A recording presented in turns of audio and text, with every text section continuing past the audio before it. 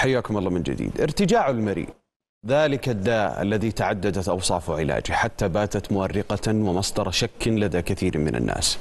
اليوم نناقش كل ما يتعلق بداء ارتجاع المريء مع ضيفنا الدكتور سعد الراشحي استشاري الجهاز الهضمي. حياك الله معنا دكتور سعد. شكرا لمشاركتك معنا اليوم. شكرا لك شكرا لاستضافتك أنا قريت المقدمة كذا بشجن ووجع أنا أعتقد يمكن كل الناس عندها مشكلة في في ارتجاع المريء. لكن قبل ما ندخل بالتفاصيل دكتور نبغى نعرف أول شيء ما هو المقصود بارتجاع المريء بداية؟ صحيح. أول شيء بسم الله الرحمن الرحيم. طبعا ارتجاع المريء هو بالتعريف هو بشكل عام ارتداد الحموضة من المعدة إلى إلى إلى أسفل المريء أو أعلى المريء على حسب شدة شدة درجة الحموضة في المعدة. فهذا هو التعريف المبسط لارتجاع المريء. اذا الحمض اللي اللي موجود في المعدة الحمض المسؤول عليه إيش هذا هذه المعدة تفرز حمض بشكل دائم لكسر الأكل لتكسير الأكل بشكل عام وامتصاص فوائد الأكل في الأمعاء الدقيقة. فهي جزء من زي ما تقول اللي هي غلاف دفاعي للمعدة زائد نوع لها دور كبير في امتصاص فوائد الأكل عند وهضم الأكل. وش درجة قوة الحمض هذا؟ طبعا درجة تختلف من شخص لشخص آه وعلى حسب الأدوية التي يأخذها الشخص بشكل عام. واحدة علاجات آه ارتجاع المريء هي التي نهدف أن نخفض درجة الحمض. إذا كانت المشكلة بشكل عام هي ارتداد الحمض إلى أسفل المريء. بحيث أنه يصل هذا الارتجاع إلى صحيح صحيح. إلى أعلى. الأسباب. يعني ليش يحصل ارتجاع المريء أصلا؟ صحيح طبعا ارتجاع المريء هو إحدى أهم أسباب زيارة عيادة الجهاز الهضمي آه وأسبابها غالبا زادت في الفترة في الفترة الماضية وذلك لعدة أسباب، أول شيء آه نوع الأكل اللي صرنا ناكله بشكل عام. صرنا الأكل نوع الأكل ناكله كثير مشابه لأكل الغرب وهو كثير الدسم وأسلوب الحياة بشكل عام. وش الأكل نوعية الأكل اللي تسبب؟ صحيح. طبعا الأكل هو عدة في عدة أنواع من الأكل تسبب ارتجاع المريء. لكن بشكل عام كقاعدة عامة هو الأكل التي الذي فيه نسبة دهون عالية الأكل الحار آه وبشكل عام أيضا المشروبات الغازية التي قد تنفخ المعدة بشكل عام وتزيد نسبة ارتجاع المريء. زائد أحيانا نقول المرضى بعض المرضى يكونوا حساسين زيادة للأشياء الحامضة زي القهوة وهذه الأشياء اللي ممكن تزيد أحيانا من أعراض ارتجاع المريء.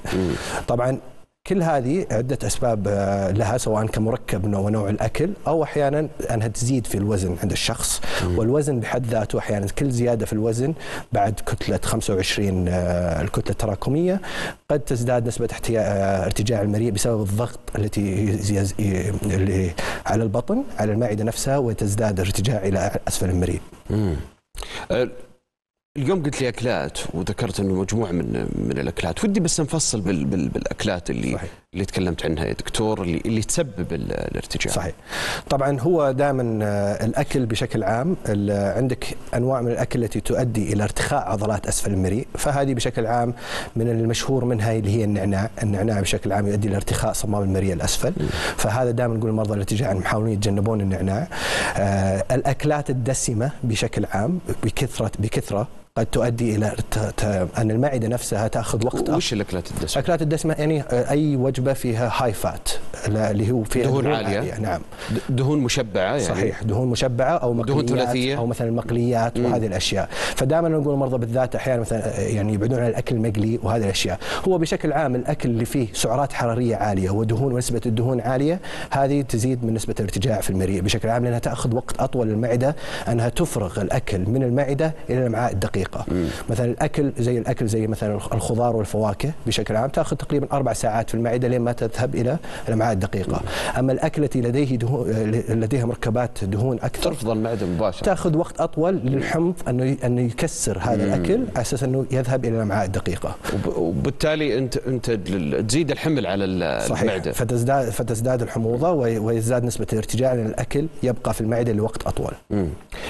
في علاقة بين ارتجاع المريء والأكل في أوقات متأخرة. صحيح. نعم. شكرا على هذا السؤال. لأنه أول شيء نقول للمرضى أول ما يجون أنهم تجنب الأكل قبل النوم بأربع ساعات. أربعة. أربع ساعات، نعيد للنقطة اللي, ذكرتها قبل قليل أن المعدة بشكل عام تأخذ أربع ساعات تقريبا انها انها انها أنها تدفع الأكل من المعدة للامعاء الدقيقه وتقلل نسبة ارتجاع إلى أسفل المريء. فالمفروض إني أنا لما أروح الفراش أكون متجهز للنوم تكون المعدة انتهت من من عملية تكسير الطعام. صحيح ومن أغلب المشاكل لما تسأل المرضى يقول أنا آكل قبل النوم بأربع ساعات لكن تسأله أكثر من سؤال تلاحظ إنه ياخذ زي ما تقول الوجبات الخفيفة قبل النوم. آه سناكس إيه، صحيح ياخذ السناكس ياخذ السناكس قبل النوم وبشكل عام هذا بالذات إنك أنت لما تيجي تنام تخسر عامل الجاذبية.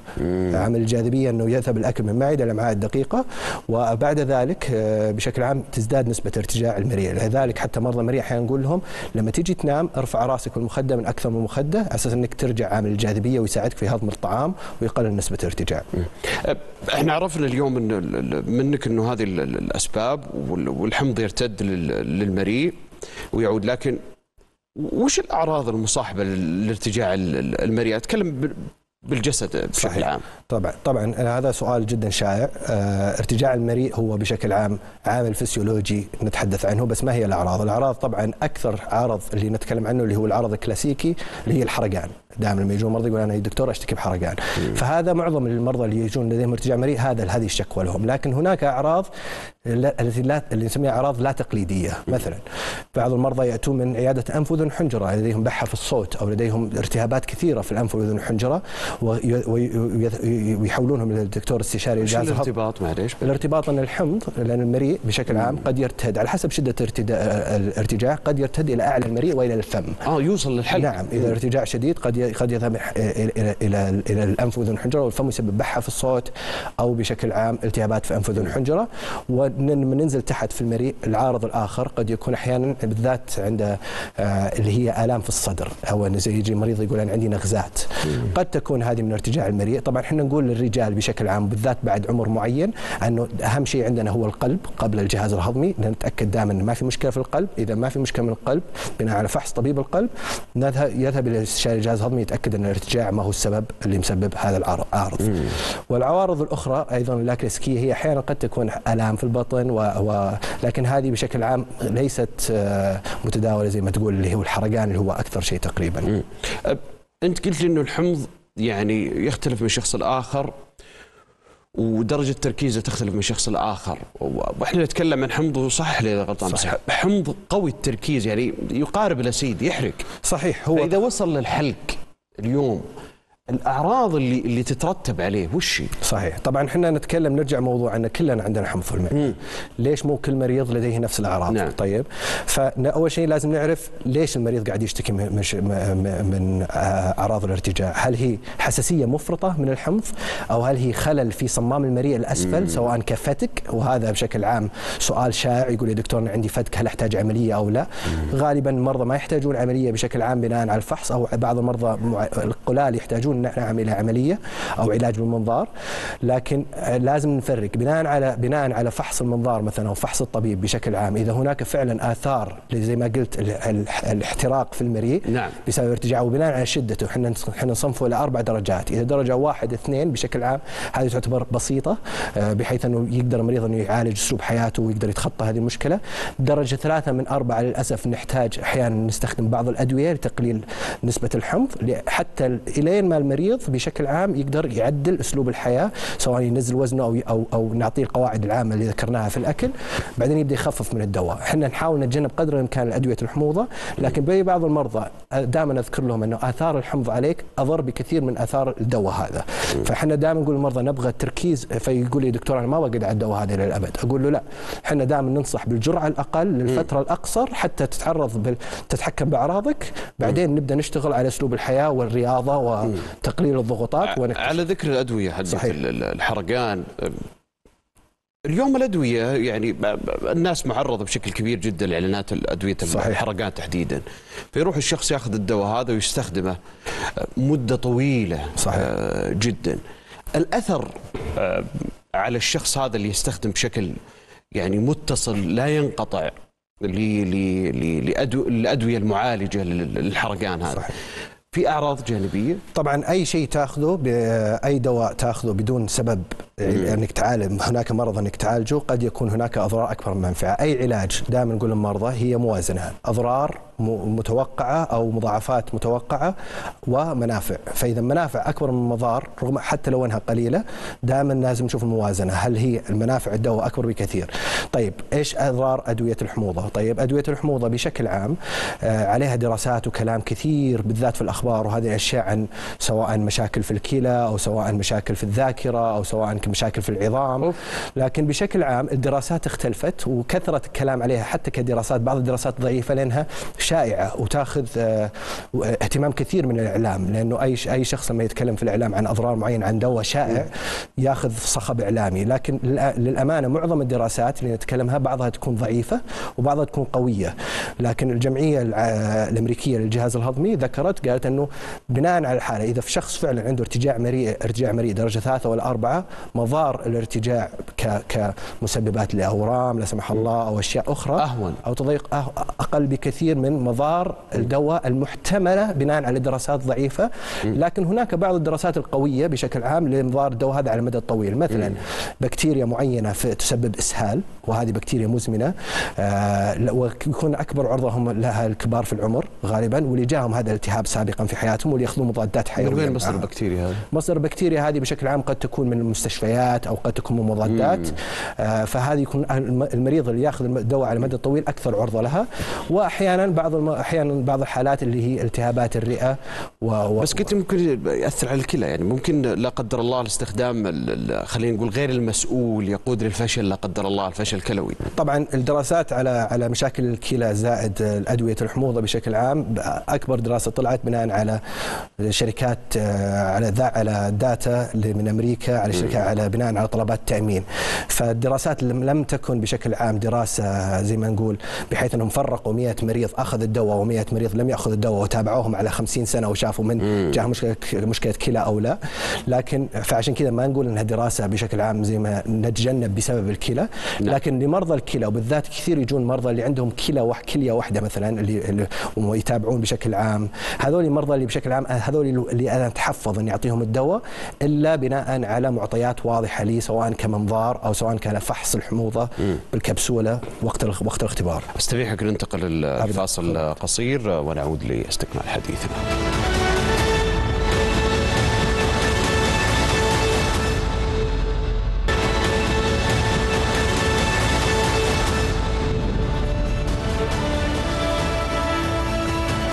حياكم الله من جديد. حديثنا في هذه الفقرة عن ارتجاع المريء وضيفنا هو الدكتور سعد الراجحي استشاري الجهاز الهضمي. دكتور سعد كنا يمكن نتكلم قبل شوية عن الأعراض سواء اللي يتعلق بارتجاع المريء أو حتى للاستمرار أه، الغير مسؤول اليوم للدواء لفترة طويلة. بسألك عن بعض المشروبات. يعني في البعض يقول لك لا تشرب حليب. ترى يجيب لك الحرقان. في بعض يقول لك المكسرات. في مفاهيم كثيرة حول حول ارتجاع المريء والحرقان. وش الصحيح منها؟ صح طبعا آه، طبعا إحنا نقول دائما في كل شيء خير الأمور أوسطها. هي المشكلة دائما في الشخص لما يسأل عن أكل معين يكون يحب هذا الأكل كثير ويكثر منه. ويبغاك تحلل له. يبغاك تحلل له وتقول أنا تأخذه. فهذه هي المشكلة بشكل عام.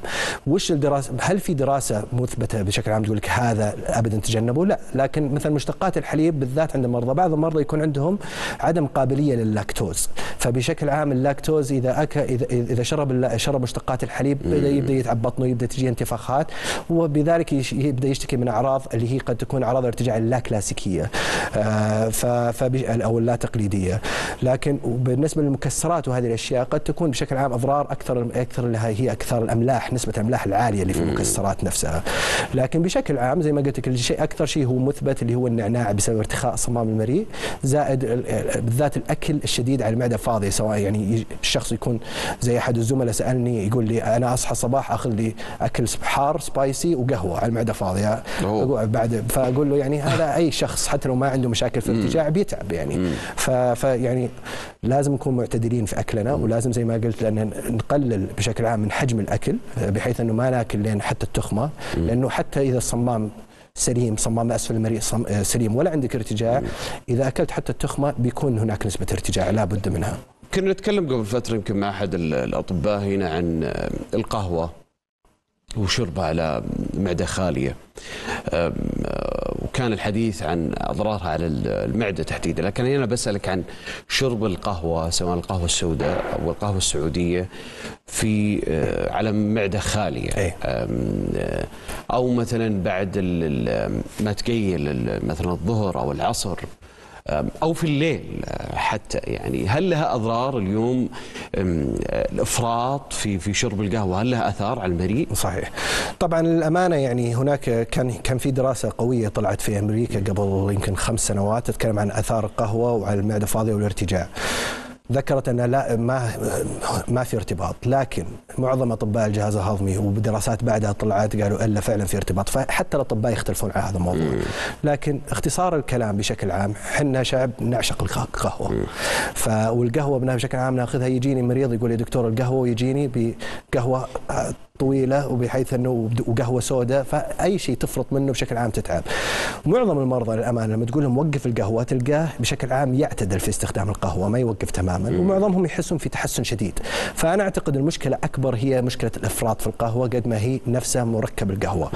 آه وبالذات بشكل عام نعم على معدة فاضية هناك آه، أكيد في بيصير أثر لأن القهوة بشكل عام حامضة طيب والقهوة على معدة فاضية بتزيد من نسبة الحموضة وهناك ارتجاع فدائما نقول إذا أنت تبغى قهوة حاول إنك تكون ماكل شيء على الأقل بسيط قبلها وحاول خليها في منتصف اليوم ودائما أنا أقول بشكل عام يعني الاعتدال هو هو هو هو الطريق الأمثل لهذه المشكلة. هل يعالج العسل ارتجاع المريء؟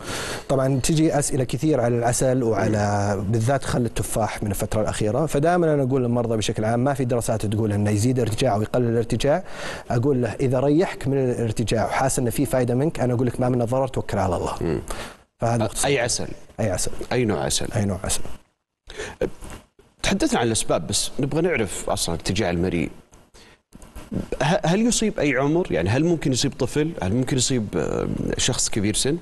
نعم هو بشكل عام غالبا في ال في ال في الأطفال بشكل عام إذا كان هناك مشكلة في ارتجاع المريء غالبا تكون إحدى السببين يا زي ما قلنا الأكل السيء مثلا عند الأطفال بالذات الشيبس والحلاوة نعم. والمشروبات الغازية بالذات آه، أو بشكل عام إنه يكون في مشكلة مثلا في الصمام يكون في فتك كبير بحيث إن الصمام يصير عنده ضعيف وأي شيء يأكل ممكن يصير له ارتجاع. بالنسبة لكبار العمر وشكرا على هذا السؤال لأن هذا هو المهم بشكل عام بالذات في الكبار في العمر بعد عمر 60 إذا هناك اشتداد في ارتجاع المريء طيب أو هناك مثلا بالذات تاريخ تدخين سابق. هذول مرضى بشكل عام نحاول نحرص أن نفحصهم بالمنظار. ليش؟ لأنه بشكل عام تغير في ارتجاع المريء بعد عمر 60 وبالذات عند مدخنين لازم نتأكد أن هناك أسباب أخرى. ما نقدر نقول فقط هذا ارتجاع هذا ارتجاع وقف قهوة وقف هذا خذ نكسيوم حسب الحاجة خفف وزنك. لا لازم نفحص نتأكد أنه الله يبعد الشر ما في مشاكل في الخلايا نفسها اسفل المريء أشياء أورام أو هناك حساسية في المريء. وهناك برضو في الأطفال نرجع لموضوع الأطفال. هناك يعني مرض جديد يعتبر نسبيا وبالذات آخر عشر سنوات في السعودية بسبب غالبا صارت عندنا نسبه الحساسية ارتفعت من تالي اللي هي حساسية المريء بشكل عام. لكن هذول الأطفال يجون غالبا إنه يجي ياكل لحم أو ياكل دجاج ويوقف الأكل هنا. فهذه بشكل عام تخليك تشك أن هناك مشكلة ليست فقط ارتجاع ان هناك حساسية فقط في المريء. زي لما تجيك حساسية في الجلد أو حساسية في مكان. وتكون غالبا عند المرضى اللي عندهم الربو وعندهم الإكزيما وعندهم مشاكل حساسيه أخرى برضو. أنا مهتم صراحة أسمع منك دكتور أكثر على موضوع اللي يأكلون ال- الأكل الحار. وأنا هنا بسألك عن كل أنواع الأكل الحار. الفلفل الأسود الفلفل الأخضر القرون الفلفل الأحمر الصرار آه، الحبحر يعني الشطة يعني في مفاهيم إنه لا الشطة هي ال- الشطة اللي هي السائلة. إنها أكثر ضرر على ال- ال- المريء. وفي بعض يقول لك إنه لا الفلفل الطبيعي ال- الأحمر ما منه آه، ضرر. إنت إيش رأيك؟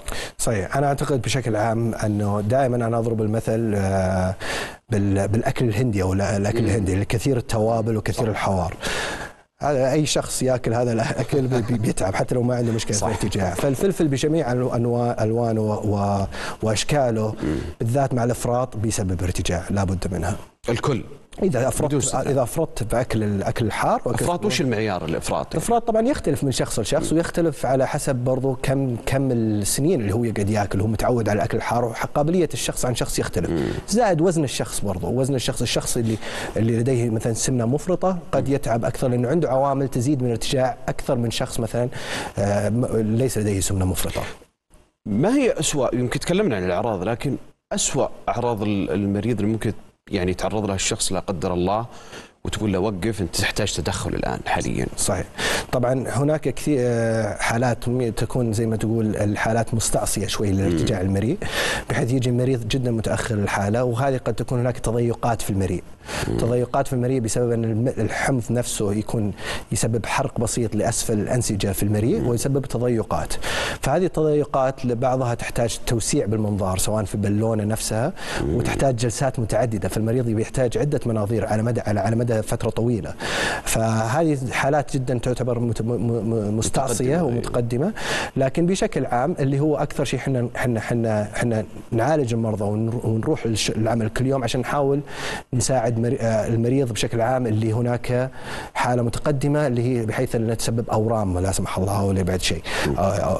فهذه هي المشاكل اللي قد تكون بالذات على عمر طويل اللي الشخص الذي لديه كتلة تراكمية أكثر من 25 على مدى طويل مدخن والارتجاع المزمن. هذه تسبب حالة اسمها حالة اللي بحالة Barrett's Barrett's مريء ال Barrett's.